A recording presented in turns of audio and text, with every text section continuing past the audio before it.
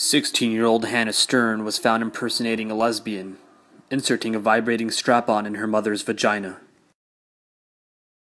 Sergeant Sheldon Cooper has a couple words. Until now, we have no clue what the reason is for. Good news is that we found the suspect. We did a background check on the girl, and 16 year old Hannah Stern has a disease called stridophrenia, a mental problem where she likes to believe there's different things overtaking her body. She was taken to a nut house due to severe problems. She has a history of doing the Macarena naked on the beach. By the way, Sam has a big ass fucking nose.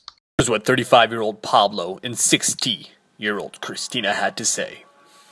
Okay, so here's how it all went down, you know. So one was sitting on the porch, and I passed by, you know. She was sitting on the porch just alone, you know. I didn't do nothing. She was like, nice, you know. I will, and then, and then, espérate nomás un poco. Este muchacha está loca. Yo le vi. Está loca. Espérate, mamá, mamá, déjate nomás un poco. No. Está loca como wow, wow,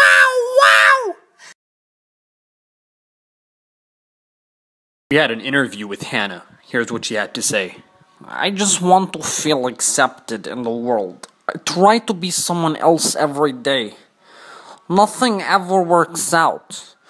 I'm normal. I'm normal! Adam, get her! Get her! I'm fine.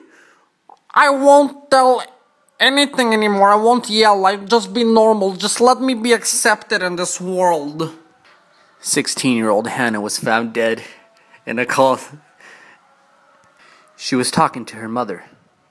A couple days later, after sticking a potato up her neighbor Christina's ass, we found her dead in a jail cell.